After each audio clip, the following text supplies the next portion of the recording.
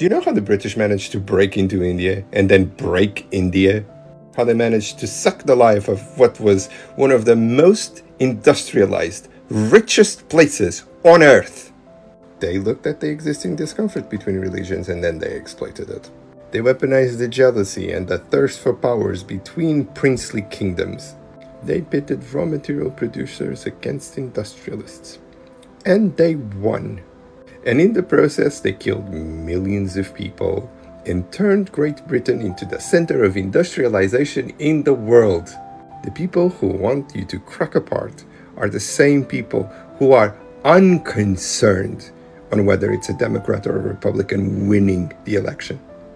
They're weaponizing our own identities, our pain, our suffering, our fear against us. So don't let it work. Keep the dialogue open. Be compassionate. Try to understand that people on both sides of the aisle will respond emotionally because both sides have been deprived of being given even the most basic of humanity.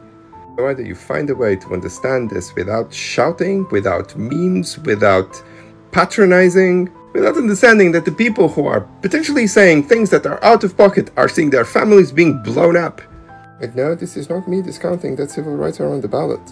This is me saying that if you want someone to do something, you are nice and polite and you ask. And if you take a painful decision that is generated because of your context, potentially be prepared to extend some grace and to hear some stuff that you won't like. Because I can guarantee that when the smoke clears, whoever is there we are gonna need each other.